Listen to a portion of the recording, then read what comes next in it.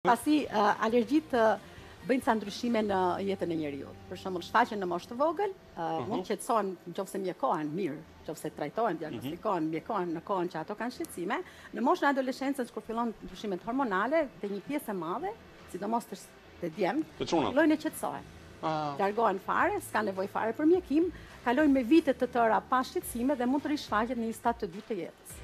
Kurse tek femrat mund të jenë shumë të lehta gjatë fëminisë, pas adoleshencës apo në adoleshencë fillojnë të rëndohet, shfaqen ah. më shumë. Në disa raste tek femrat në periudhën e gravidancës mund të shfaqet një alergji. Ça është gravidanca? Në periudhën e shtatzanisë, më fal, më fal, mund të shfaqet një alergji.